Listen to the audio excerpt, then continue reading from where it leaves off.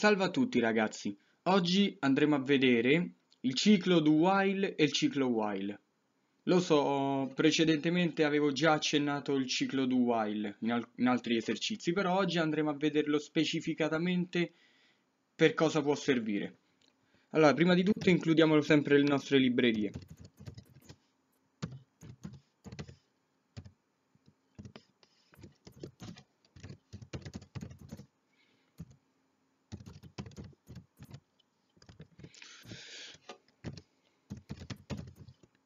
Mm, no, vabbè, me le faccio, ah, me le faccio bastare, tanto.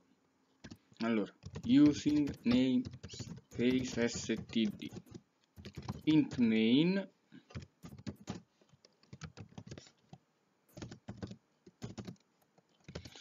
Allora, supponiamo che io voglia ehm, ripetere un'azione per un certo numero di volte, ma che non voglia inserire per questo troppi comandi. Per esempio, voglio ripetere per 10 volte un'azione, ma non ho voglia di scrivere 10 volte lo stesso comando, anche perché sarebbe brutto a livello estetico per il codice e sarebbe ingombrante a livello di memoria. Pertanto oggi andremo a vedere una soluzione di queste, per questo tipo di problemi. Allora, do,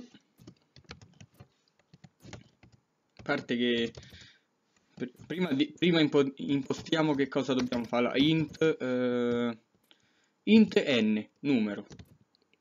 Int numero uguale 0. Adesso io voglio raffigurare su schermo il valore di questo numero ogni volta che incrementa di valore.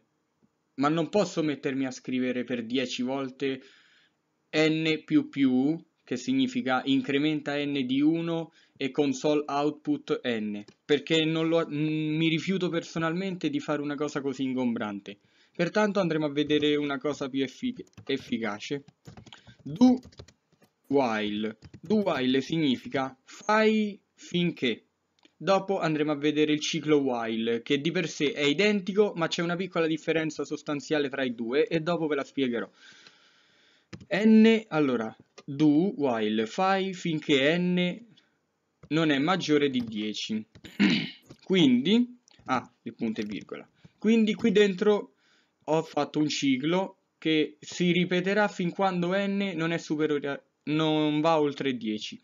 A questo punto andremo a mettere n, anzi, console output n. Gli diciamo anche di andare a cavo perché insomma è più bello. Poi n più più, incrementa n. Con questo io mi sono risparmiato 10 volte. Allora, questo pezzo di codice io lo avrei dovuto scrivere 10 volte ed erano 30 righe di codice, cioè 30 righe di codice per fare una cosa che invece ho fatto con 3, 4, 5, 6, 7, 8 righe. Abbiamo risparmiato 22 righe di codice, beh, figuriamoci un po'. E va bene. Adesso mandiamo in esecuzione e dovrebbe funzionare. Così vi faccio vedere il primo esempio.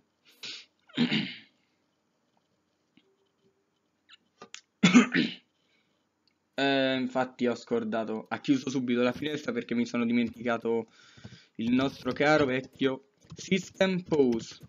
Pause. Ah, ok. Adesso ci dovremmo essere. Là. No. do while n ah aspettate ho sbagliato finché n cioè questo avevo messo una condizione impossibile finché n è minore di 10 ecco adesso è giusto perché come l'avevo messo era n maggiore di 10 significa che n doveva essere tipo 20 dopo ve lo faccio vedere come poteva andare bene quel codice. Ecco n deve essere inferiore a 10 fin, fai finché n è inferiore a 10 infatti 0 1 2 3 eccetera premere un tasto per continuare. Quello che avevo scritto prima sarebbe andato bene se avessi fatto tipo così. Se avessi detto che n è uguale a 20 fin quando n è maggiore di 10 decrementa di 1 n n meno meno Infatti 20, 19, 18 fino a 11, giusto? Adesso andremo a vedere il ciclo while, che di per sé è la stessa cosa. While n maggiore di 10, possiamo anche lasciare così.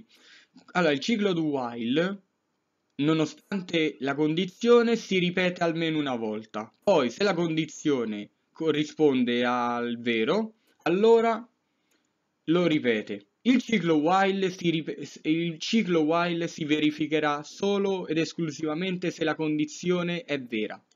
Il ciclo do while ci dà modo di poter eseguire almeno una volta il pacco di informazioni che mettiamo all'interno. Il ciclo while è più ignorante. O fai così o non lo faccio.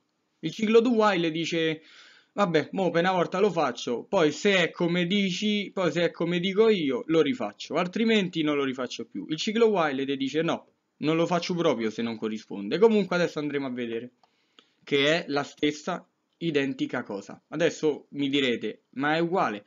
Però vi posso garantire che in alcuni programmi di natura più complessa e lunghi possono sostanzialmente hanno una grande differenza applicati in programmi molto più elaborati, possono avere un'incidenza maggiore di come adesso. Adesso, ehm, detto, questo, detto questo, ragazzi, eh, ci possiamo anche salutare qui perché il ciclo while il ciclo do while in, in fin dei conti sono solamente questo.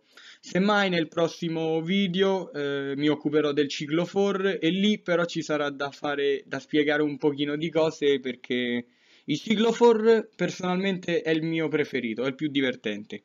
E buona, eh, spero che il video vi sia piaciuto e ci vediamo alla prossima. Lasciate un like e commentate.